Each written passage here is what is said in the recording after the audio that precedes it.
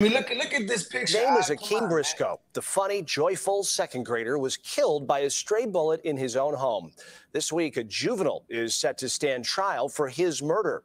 Tonight, we begin our 10:30 half hour with Yeah, what will that's be a an baby, ongoing man. investigation into the troubled juvenile justice system, a system Akeem's mother believes doesn't take into account the victims.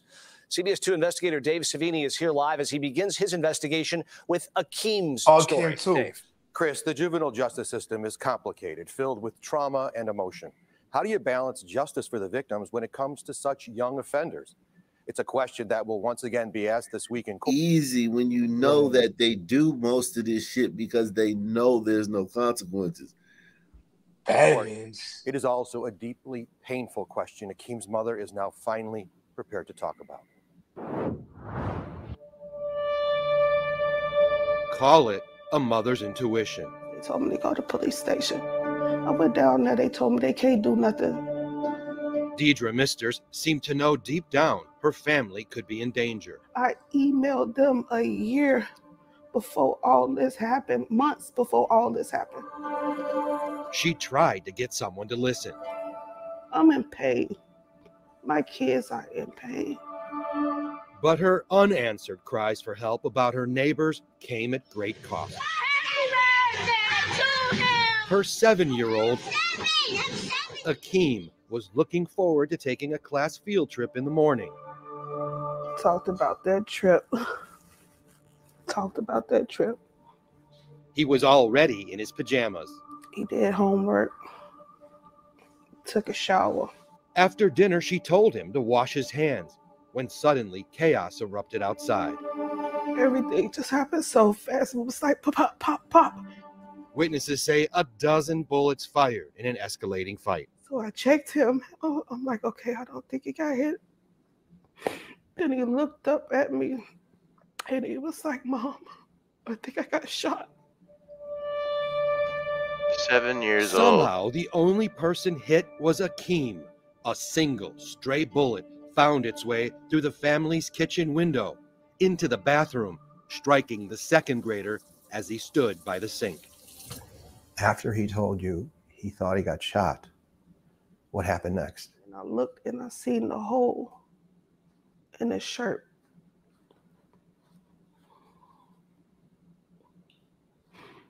So he was shot in the stomach. He was shot in the stomach. Deidre, a nursing assistant, laid on the floor next to him, trying to stop the bleeding. So I just started to hold the pressure on the wound. I didn't realize he had it went straight through him. And he's still talking to you. He didn't lose conscience right away. He just kept trying to reassure me that he was okay. What was he saying to you? He was saying, I'm gonna be okay, mommy. I'm okay, mommy. Those would be the last words she would ever hear from him. He was shot and killed, washing his hands. And for Deidre and her surviving children, it would be their second funeral in two weeks. Her husband, their dad, Akbar Briscoe, had also just died after suffering a stroke. A week after I had to bury my husband, I had to start preparing Oh, for a funeral Fuck, for man. Jesus Christ, man. my son. What was the date? October 27, 2022. Deidre returned to her old street last month to show us which window the bullet went through. Then something unexpected happened. I think about you all the time. I have a cross in the bathroom which remembers him. The woman now living in the hmm. home, Marcia Severin, saw Deidre and came out to comfort her. I have a candle on the back window. I always think, I just want you to know that, okay? Two strangers, both moms, meeting for the first time. Then Marcia invited Deidre inside and gave her space to grieve. She then walked to the bathroom and saw the sink. He was standing right here, and I was sitting right here next to him. You didn't. You haven't been in this. I haven't been in this house since it happened. What are you thinking and feeling? It's like all my emotions of everything from me raising him up until the time that he passed. Just, it all comes back, flutters me. Marcia never met Akeem, but she knew what happened. To memorialize the little boy, she hung a cross in the bathroom, one her own little boy created. He loved everything. He loved everybody. Deidre thinks Akeem would be alive today. She can't get over it. That her earlier complaints about her neighbor and constant gathering of large crowds led to no action. I feel like all this could have been avoided because I complained to my apartment complex people. I complained. I emailed them and begged them to come and do pop up visits on my back. I stopped parking my car in the back of my house. Because she feared for her safety, she stopped parking her car out back. Court records show the shooters were targeting Deidre's neighbor and shooting at him in her parking space. So if the person who they were firing at wouldn't have been in your spot, In my spot, you would have been there. I would have been there. And you don't think the bullet would have gone into your apartment? No. She believes that would have changed the trajectory of that one stray bullet. When we talk about a bullet's path, a few inches this way or a few inches that way, and it hits brick. Yes, But in this case, it went through the window. it went straight through the window. That night, if my car had been parked in my parking spot, my son wouldn't have got hit. Chicago police and court records show an earlier fight here at a nearby liquor store led to the retaliatory shooting. They came from right Think here and about that. started This, shooting. this yeah. way. It's speechless. Like, what do you even fucking? you know, the the the lowness of the the baseness of it. I, I think It can Uh, go. You think it can go no further, but it does. I I just can't stand these interviews though like this. It's so dumb. It's like, how do you feel? It's like, could it possibly be joy? Maybe. Like, what do you what do you even ask? Well, I gotta say, I see real tears on this one, and like, Yeah. it's sad. This is this is yeah, really this sad. is fucking Um, heartbreaking. I, it's crazy how the sun man just know when to get you. Like you're either having a great moment in your life or you're fucking low, they know when to get you. But anybody with half a brain, I, with a fucking half a brain, knows what should be done to that little son word. Mm, I mean, So it was another juvenile that shot him. Yeah. Yeah, he was he was 15 My when he car- killed this kid. they it, it's it's the fact that when you know these little kids too, like I know a bunch of these little kids, not by like just going out, hey, how you doing, but just over the years of living in Blackistan. You know what I'm saying? I know a bunch Yeah. of these little kids. Now, some of them are probably grown now, but you know, like I've known these kids all my life. They're they're all the same. Like no matter what year, whether it was 04 or 96 or 1990, I've known these little 15 year old shooters and bad kids all my life. And I'm telling you, man, they don't lose sleep over this shit. They're shitty It people. doesn't bother them like you Mm. would think it does.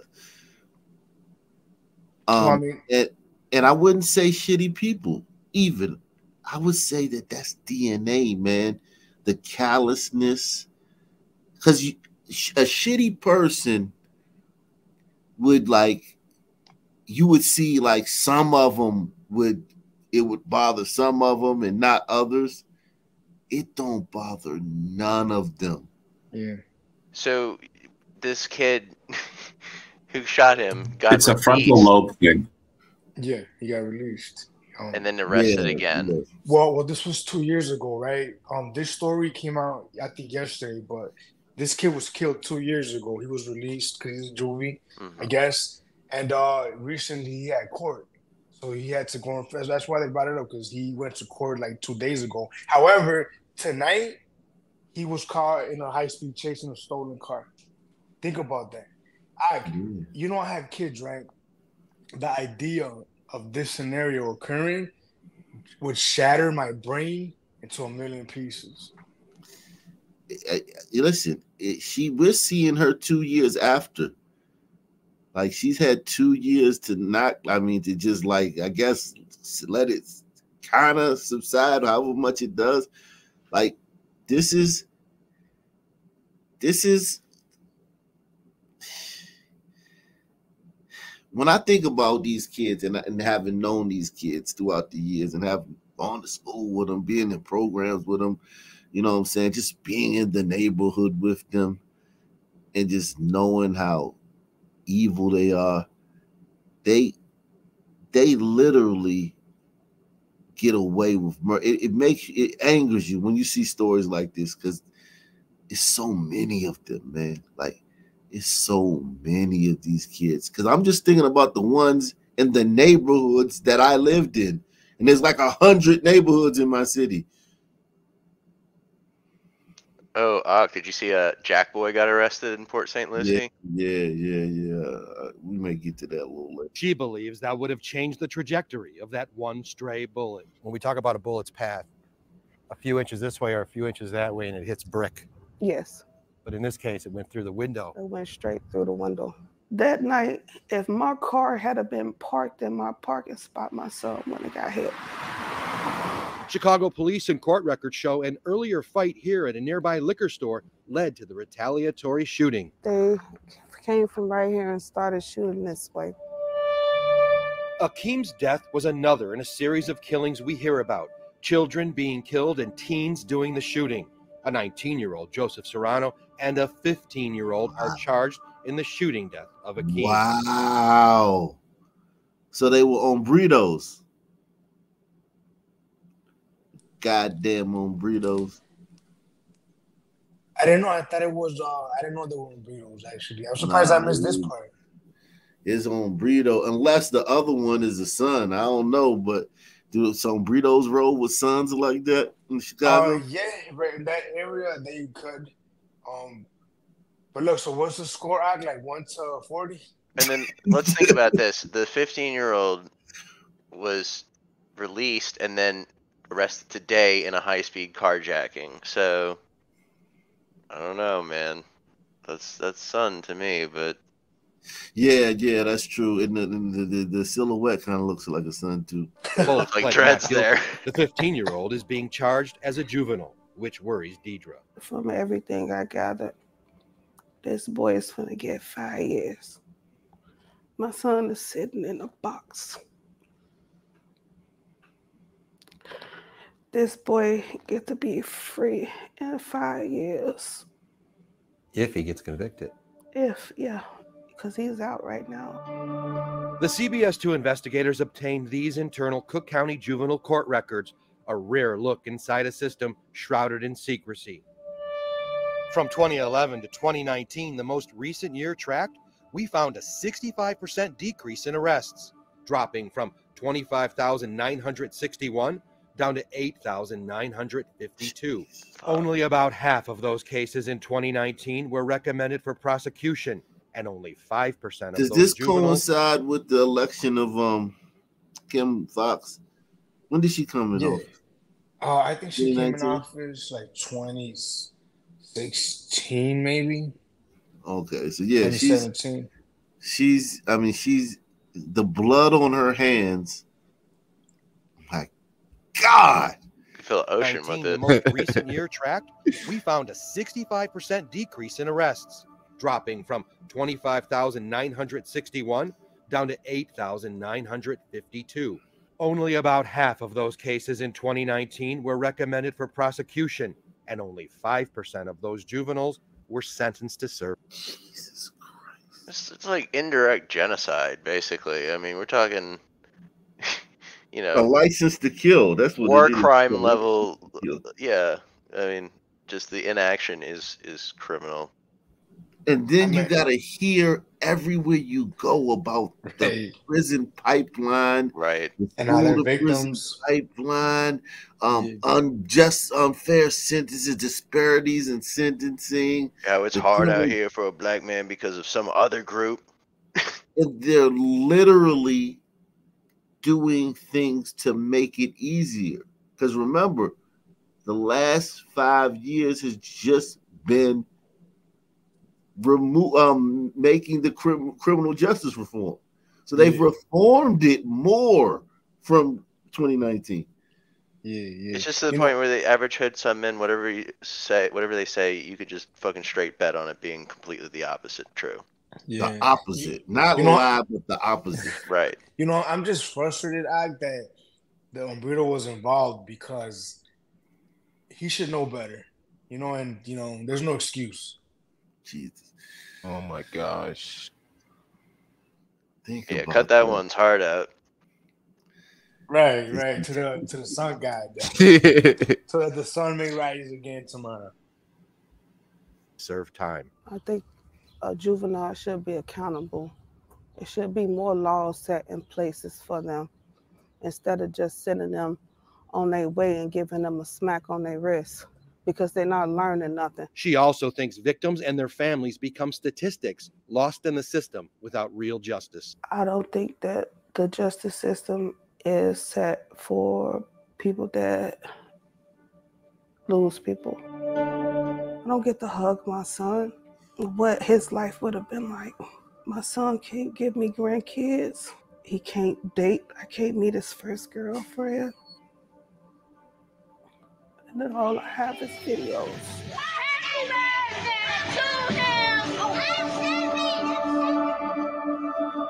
And I just have a f- sneaking suspicion that if it were a glider 15 year old kid who fucking shot a seven year old, uh, he would be being prosecuted pretty strongly. That would be Oh, yeah. that would be referred. Not only that, if the, if the seven year old was white, this wouldn't even make the news. they wouldn't even give